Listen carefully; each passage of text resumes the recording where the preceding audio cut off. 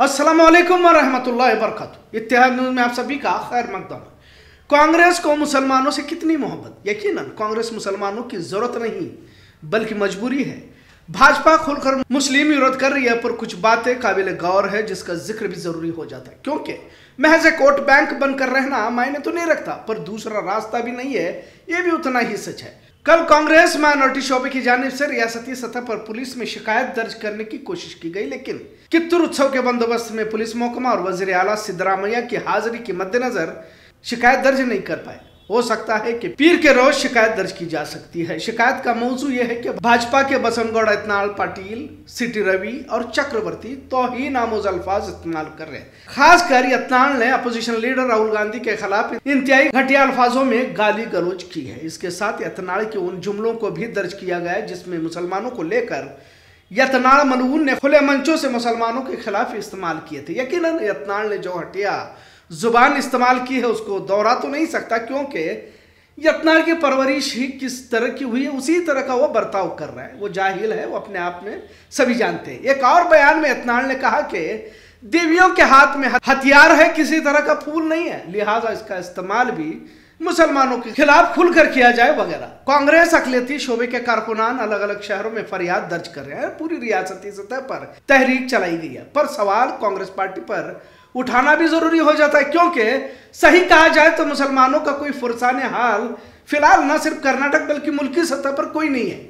अब जिस पार्टी में बतौर कारकुन खिदमात अंजाम देते हैं तो उस पार्टी के हुक्म पर भी अमल करना ज़रूरी हो जाता है। पर कुछ बातों में इंसान का जमीर ईमान भी मायने रखता है। नबी की शान में गुस्ताखी होती है तो आपको किसी मौलाना, किसी सियासी पार्टी या किसी की इजाज़त का इंतज़ार नहीं करना पड़ता। अगर आपके माँ बाप की भी इजाज़त ना ली जाए तो कोई हर्ज नहीं है, क्योंकि नबी की मोहब्बत सबसे ऊपर होती है। क्योंकि मामला जज्बात से जुड़ा हुआ है, पर उमूमन देखने को मिलता है कि सियासी पार्टियों में जो भी जाता है, फिर वो किसी भी पार्टी से हो, मुसलमानों से मोहब्बत फर्जी नज़र आती है। रियासती सतह पर राहुल गांधी पर। तोहिन अल्फाज इस्तेमाल करने पर फरियाद दर्ज करने की मुहिम अकलीत शोबों की जानब से चलाई जा रही है। तो तमाम कांग्रेसियों से सवाल है और खासकर कांग्रेसी मुसलमानों से कि उस वक्त वो कहाँ थे, जब नबी की शान में मुसलसल गुस्ताखी की वारदातें पेश आ रही थी। रामगिरी महाराज, नीतीश राणे और यत्नाड़ और भी ऐसे बहुत सारे लोगों ने, क्योंकि आजकल तो ये ट्रेंड चला हुआ है कि मुसलमानों के खिलाफ बात करते रहो। उन्होंने सिर्फ़ राहुल गांधी पर बदजुबानी की, इसलिए तुम्हें फरियाद दर्ज करने की ज़रूरत पड़ी। मजीद ताजुब की बात तो यह है कि तमाम कांग्रेसी मुसलमान रियासती सतह पर फरियाद दर्ज करने जमा हुए हैं। पिछले दो सालों से जायद अरसा गुजरा मुसलमानों पर मुस्तकिल हमले किए जा रहे हैं। उस वक्त तो ये मुसलमान कहीं नज़र नहीं आए। लेकिन अब राहुल गांधी पर तो तोहिना मुजल्फाज इस्तेमाल करने पर इनके जज्बात मजरू हो जाते हैं।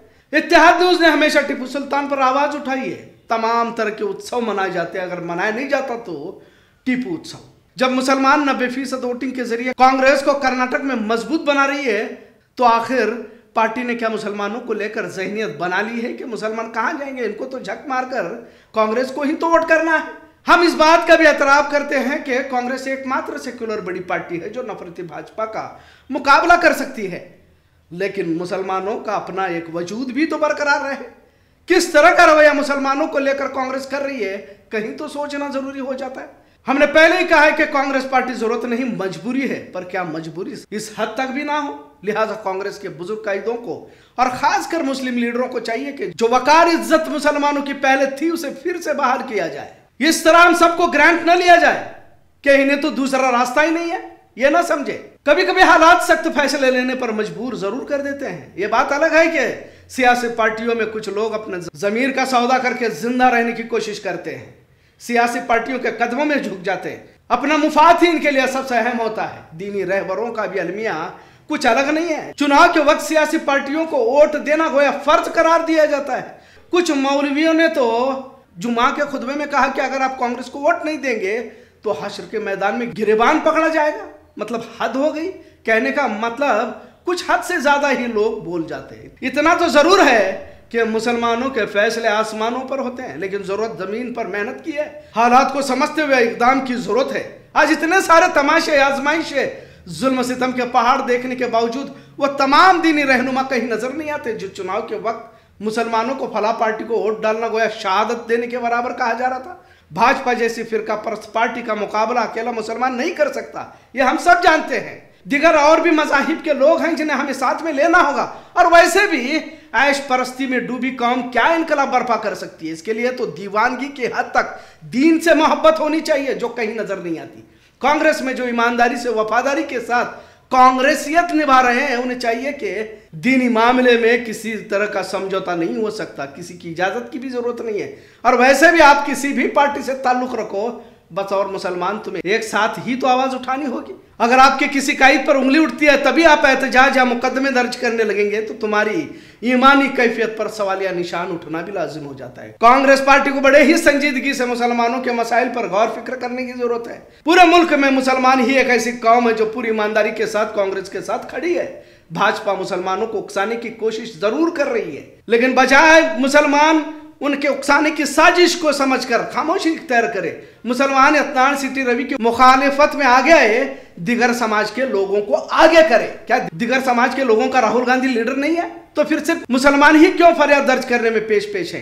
अगर मुसलमानों के खिलाफ कोई तोहिना मुजल्फाज इस्तेमाल कर रहा है तो यह सिर्फ़ मुसलमानों की ज़िम्मेदारी नहीं है। कांग्रेस में मौजूदा लिंगायत कुर्बर दलित वक्लीगा मराठा और दिगर गैर मुस्लिम लोगों को आगे आकर बड़े पैमाने पर एहतजाज करना होगा, क्योंकि सबको मिलकर तो संविधान और इस मुल्क को बचाना है। क्या मुसलमानों की सिर्फ़ ज़िम्मेदारी है? इसका असर भी होगा। सिर्फ़ मुसलमान ही एहतजाज, मेमोरेंडम या शिकायत दर्ज करने में पेश आते रहेंगे तो फिर का परत भाजपा को फिर मौका मिल सकता है। अगर मजहबी ध्रुवीकरण को खत्म करना होगा तो गैर मुस्लिम भाइयों को ही आगे आना होगा, जो कांग्रेस में मौजूद है। पर देखने को मिलता है कि घुमा फिरा कर कुछ मुस्लिम ही नज़र आते रहते हैं। दिगर बड़े लीडर ना तो टीपू जयंती या फिर एपीजे अब्दुल कलाम जयंती में नज़र आते हैं। कांग्रेस भवन में महज दो चार अफराद ही घूमते दिखाई देते हैं, वो भी मुसलमान रहते हैं। लिहाजा रियासती सतह पर जो मुसलमान फरियाद दर्ज कर रहे हैं, इसमें सिर्फ़ मुसलमान न रहे। अगर मान भी लिया जाए कि अकलियती शोबे से ही देना है तो दिगर माइनॉरिटीज के लोग कहाँ हैं, जिसमें जैन भी आ जाते हैं।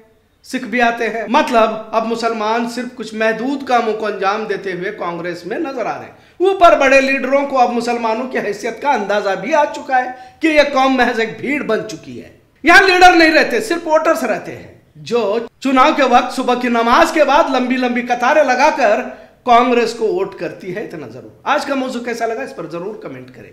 इतिहाद न्यूज़ देखने के लिए शुक्रिया। अल्लाह हाफिज़।